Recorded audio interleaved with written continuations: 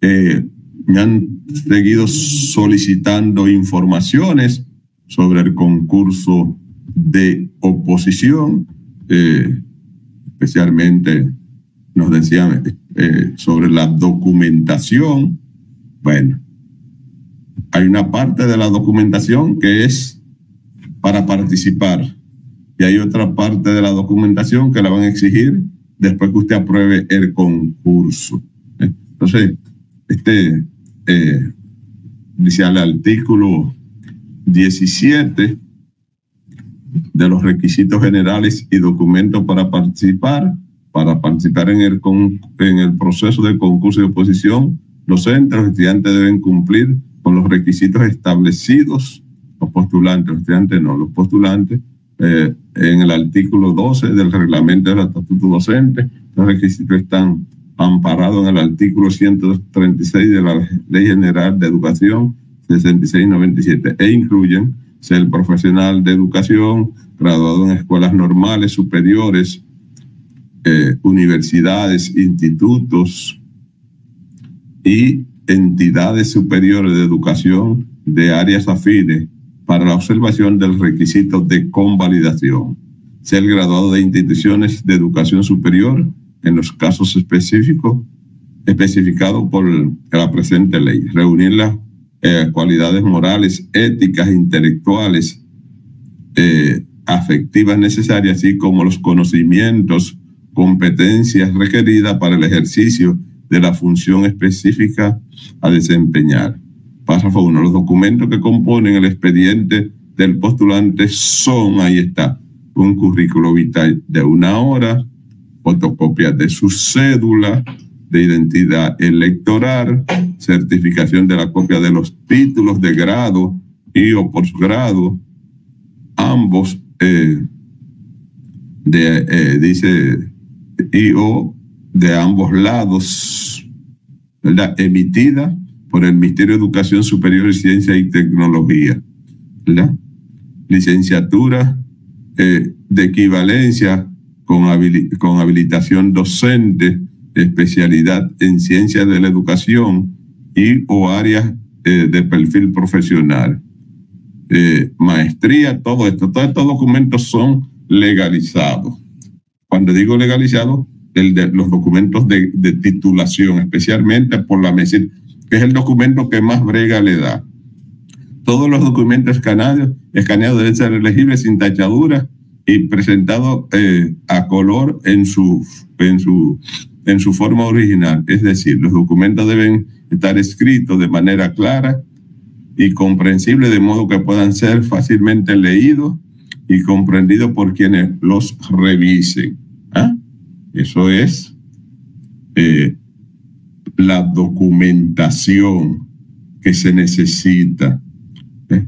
Dirán algunos, ay, no van a pedir los certificados médicos de actitud física y mental y de, de, de, de física. Y luego el chilo se pedirá. Pero eso es para los que ya hayan aprobado el concurso. Qué bueno, porque así usted no tiene que hacer ese gasto. Hay algunas particularidades de este concurso que es bueno eh, aclarárselas para algunos eh, que vi por ahí eh, estar libres de tachaduras, etcétera. En el caso de los documentos presentados que no cumplan con los requisitos serán rechazados. Eso está claro. Los títulos de licenciatura, licenciatura o equivalencia de especialidad de posgrado maestría deben ser legalizados. Eso está claro. ¿En dónde? En, en, en la MESIR. En todo caso, el título obtenido en el extranjero se requerirá la legalización. Siempre ha sido así los postulantes que no son egresados de la carrera de ciencias de la educación, este sí es importante, este artículo 18, los postulantes que no son egresados de la carrera de ciencias de la educación podrán participar para maestro en uno de los títulos de la modalidad técnico profesional o en las menciones de modalidad de artes. Para participar deberán presentar una certificación de habilitación docente emitida por una institución de educación superior reconocida conforme a la ley 139-01, poseer una maestría en ciencia de la educación o especialidad. Aparte de su título original, que usted tiene que tenerlo legalizado, ¿verdad? ¿Verdad? Entonces usted tiene que tener, si es habilitado, tiene que tener la certificación de la institución donde usted hizo la habilitación docente. Dice, la certificación de habilitación docente pedida antes del 18, antes del, 10, del 2018, en la modalidad de diplomado, serán consideradas válidas. Sin embargo, a partir de esa fecha, la titulación relacionada con la habilitación docente debe ser expedida por una, una institución de educación superior reconocida conforme a la ley 139. Los que son antes del 2018, eh, eh, se le va a reconocer. Las otras tienen entonces que ser de una, de una institución de educación eh, superior. Es bueno que vayan viendo toda su documentación. Por ahí también hay algo importante que es bueno y que lo sepan desde ahora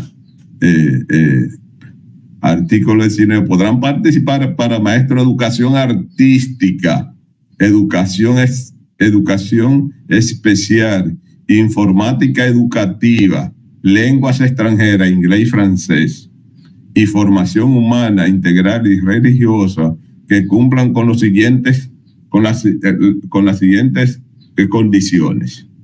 Haber cursado un mínimo de créditos de 140 créditos y se encuentren en una etapa avanzada de su carrera. Presentar una certificación firmada y sellada por la Dirección de Registro de la Institución de Educación Superior. Dicha certificación debe incluir el número total de créditos aprobados y el récord de calificaciones. Si el postulante proviene de una carrera diferente a la de ciencia de la educación y está actualmente cursando la especialidad en habilitación docente, se requiere una constancia que certifique que solo le falta presentar el proyecto final de graduación. Párrafo. En caso de que el estudiante sea seleccionado e ingrese a la carrera docente en un periodo de provisionalidad, se establecerá la obligación de presentar el título legalizado en un plazo máximo de un año ante la Dirección General de Recursos Humanos. De lo contrario, que era desvinculado al terminar el, el plazo establecido en la presente orden. ¿Qué quiere decir eso? Bueno, que para esas modalidades, para esas modalidades se va a aceptar, ¿verdad? Que no hayan, eh, eh, que no hayan terminado sino con esos 140 eh, créditos mínimos aprobados. Ah, pero ¿qué hacen algunos? Eh, a participar en el concurso, gané y entonces descuidan de su carrera. Van a tener un año para que puedan concluir, porque de lo contrario van a quedar desvinculados.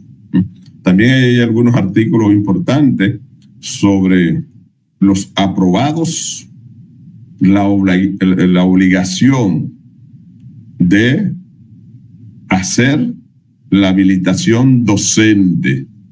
¿Mm? Eso no tengo discusión ya. La habilitación docente.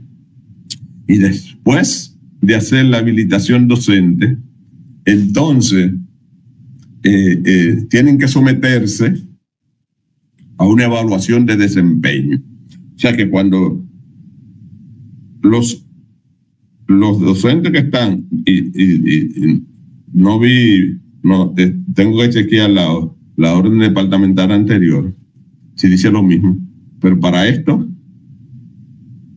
después que terminen la, eh, el programa nacional ¿verdad? de inducción, serán sometidos a una evaluación de desempeño, serán evaluados.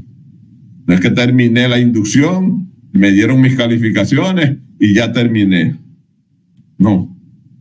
Para usted obtener la titularidad, la permanencia en su puesto, tiene que aprobar una evaluación de desempeño que se le va a aplicar una vez terminado el proceso de inducción.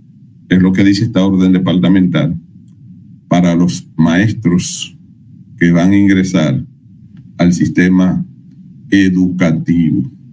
También dice, eso, es correcto, que cada quien hay que designarlo por el nivel, por el ciclo y por el área que haya participado. Yo soy maestro de iniciar. iniciar que hay que designarme, porque para eso fue que yo participé. Ah, que iniciar y primaria. No, no, no. Y incluso plantea sanciones para quien viole esa disposición y quienes la violan no son los maestros, son los funcionarios que hacen las designaciones. También dice, y eso también eh, eh, hay que ver la otra orden departamental, que durante ese proceso de inducción, oiga, si se produjera algún tipo de incremento salarial, estos docentes no los recibirían por el asunto de que están aún de manera provisional. Lo que quiero destacar es esta orden departamental, y repito, tendría que verificar la anterior sobre el concurso anterior, quiere dejar bien claro a los docentes que ingresen al sistema educativo que el primer año es provisional, que no tienen nada definitivo ¿eh?